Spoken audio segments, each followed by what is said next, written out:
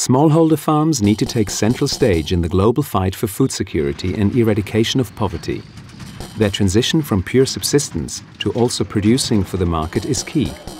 For this, they need support. First, governments need to recognize their responsibility in the development of smallholder farms. The Swiss Agency for Development and Cooperation, or SDC in short, supports the formation of national farmers associations and works with the respective governments to include farmers in the national agricultural policy drafting process. The results are new trade agreements and basic rural services, such as education and health, or energy and communication infrastructure. Probably the most essential policy dimension is secure access to natural resources such as land and water. In Mozambique, for example, only 1% of all communities have their land formally registered. This leaves the door open for international venture capital to lease the land and evict the locals for mining projects or the cultivation of biofuel crops. SDC mitigates this cause of poverty by helping local communities to register their land formally with the authorities and work with the private sector and the local administration to prevent future conflicts. With assured access to natural resources, small farmers can start making future plans. Their access to investments and to markets is vital. Women in particular need support.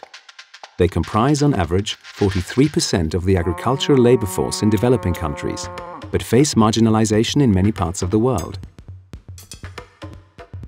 SDC links smallholder farmers with the private sector.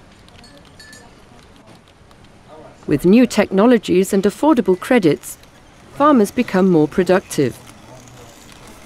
They form economic interest groups that allow them to profit from economies of scale. Larger infrastructural investments become possible, such as conservation facilities that minimize food losses. With access to new markets, farmers look to increase their production to meet the new demand. SDC provides smallholders with contemporary agricultural know-how.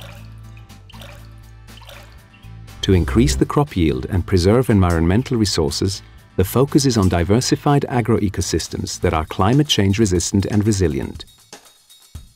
Global research advances are linked to specific smallholder farming needs. Community-based checkpoints called plant clinics are established in rural areas around the world and provide practical advice and services to farmers. National seed banks are established and the cultivation of rare plant species is promoted. Just as diversified agroecosystems minimize environmental risks, diversified income opportunities minimize risks of economic setbacks but low levels of education hamper the employment prospects in the non-farm economy. SDC activities encourage women and youth in particular to participate in rural vocational education programs, providing them with a springboard to improve their position in society. The solution to global food security and the eradication of poverty lies in the interplay of many systems and actors. Smallholder family farms play a key role in increasing global food production and reducing rural poverty.